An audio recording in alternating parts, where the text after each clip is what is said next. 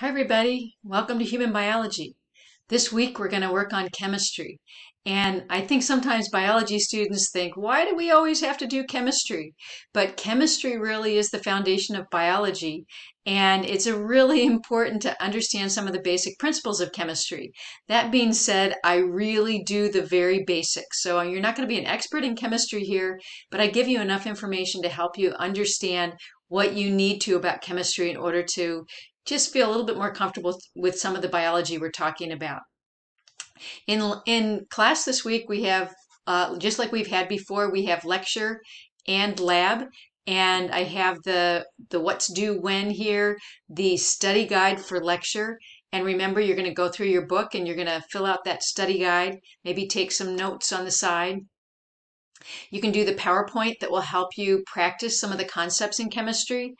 In this week, the lab material really enforces the lecture material. So one thing I was recommending is you might want to try the lab activities and then decide, you know, then do the lab quiz and the lecture quiz because the um, the lab's going to reinforce lecture. So um, that's an option. You can do it whatever way you want, but um, doing the lab before you do the lecture quiz might be helpful to, to a lot of you.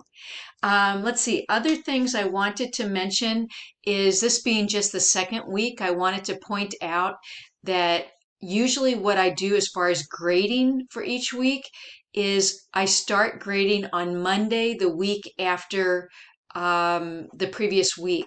And remember, all the assignments are due at 11:59 p.m. on Sundays, so that means that some people won't do it till Sunday. So I typically do a lot of my grading on Mondays. Um, occasionally during the week if i have a little break in time i might go on the in the grade book and do some grading so so you might see some things sooner than that but as far as the entire class i try to get everything graded by monday if something terrible happened on Monday, I'd try to get it done. It would definitely be done by Tuesday. Um, the other thing, let's see. Oh, some folks were also asking me about their grades, like what grade did I get on this quiz? Um, you might want to see that before you see the actual graded assignment. Um, what you do is once you've taken a quiz, you know, you have the, the links here for your quiz. You click on the link, you take the quiz, and then you submit the quiz. And then at the end, um, you'll get a new screen and in the bottom right of that screen, you'll see a little OK. This is after you've taken the quiz and submitted it. In the bottom right, there'll be a little OK.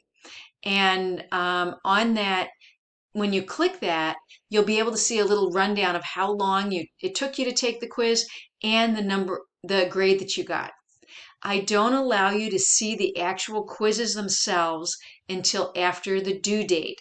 So the quizzes from week one, you can see your grade, but you can't see what did I get wrong until after the due date. So that means Monday, you can see, see the quizzes that you did on um, the previous week.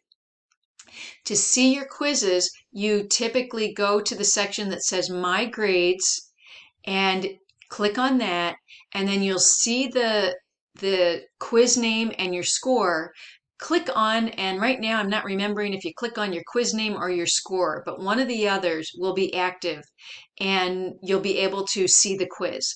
Remember, you'll only be able to see the quiz after the due date. Okay?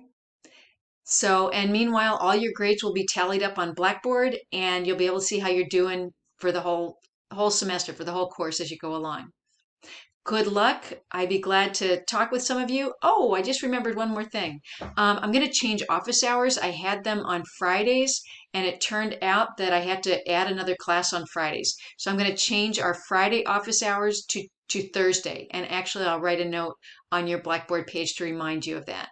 So you might want to correct that on your syllabus. All right. You guys take care. Have a great week too.